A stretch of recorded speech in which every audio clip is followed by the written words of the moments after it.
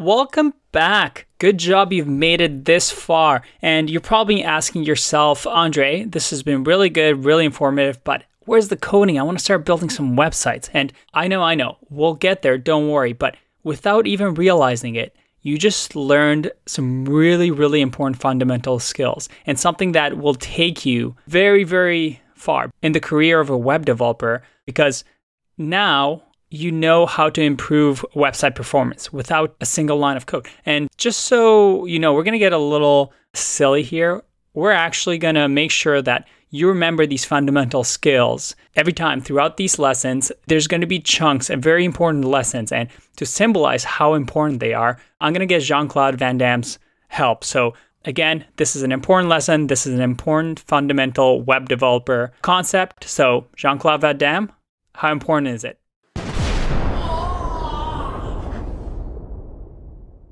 All right, so as you can see, very important concept. And what is it? Well, like I said, without writing a single line of code, you now know how to improve a website's performance. So let's think about this. There's three things.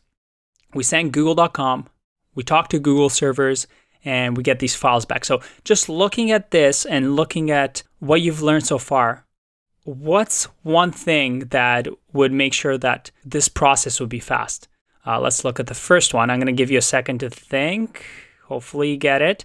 The first one is location of the server. We saw how big the internet backbone is. So if the servers are really, really close to you, let's say you're in the States and the servers are just a couple of kilometers away, that hop is going to be really, really fast versus if it's all the way across the globe. So location of the server is important.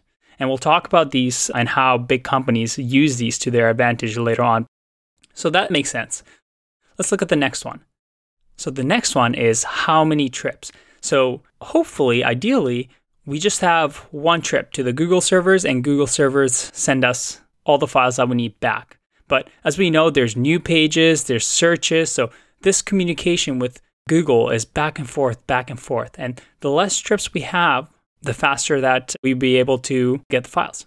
So how many trips? And then finally, size of files. Again, if this HTML file or CSS file or JavaScript file is massive and it's 100 megabytes, well, that's going to be a lot slower to transfer over the internet than it is if it was just a couple of kilobytes.